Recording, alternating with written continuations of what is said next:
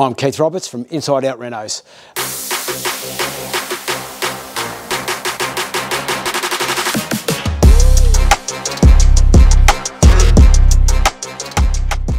We specialise now in renovations, bathrooms, kitchens, house alterations, um, all the smaller stuff.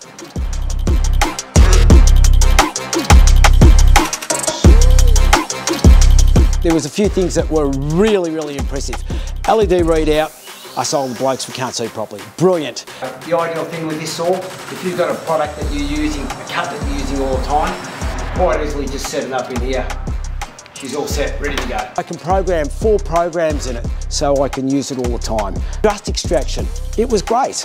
There is dust everywhere at the end of the job. Hooking it up to the vac, but there'll be minimal dust.